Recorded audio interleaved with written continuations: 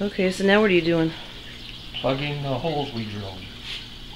Oh, with the little plugs that looks nice.